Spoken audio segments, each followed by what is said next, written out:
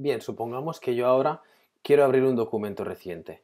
Photoshop nos da una opción para ello. Tan fácil como ir a archivo y abrir recientes. Y aquí voy a tener todos los archivos con los que yo he estado trabajando. ¿De acuerdo? Voy a abrir banana.psd y efectivamente se me abre el último archivo con el que yo estaba trabajando. Cuando yo realizo cambios en este documento, por ejemplo, voy a eliminar la capa de la banana repetida, ¿de acuerdo? Más adelante hablaremos de capas, así que ahora no os preocupéis.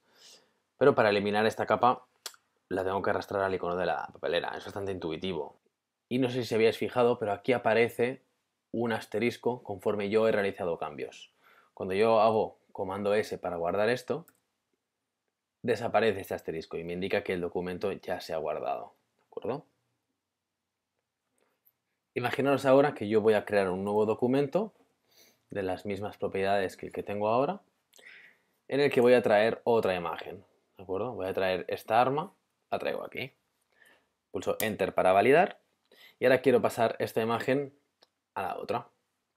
A veces se va a dar el caso de que estoy trabajando con dos, documentos y tengo un montaje en un documento que quiero pasar al otro documento. O para hacer alguna adaptación puedo rescatar algún alguna composición que tengo en este documento y quiero traerla al otro.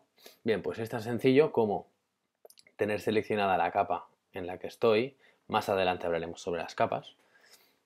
yo puedo coger esta imagen, moverla y es tan simple como arrastrarla hacia el primer documento, esperarme, ir hasta el centro del documento y soltar.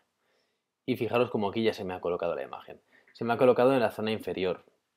Esto es debido a que yo tenía seleccionada la capa fondo. Es decir, voy a, voy a volver a hacerlo.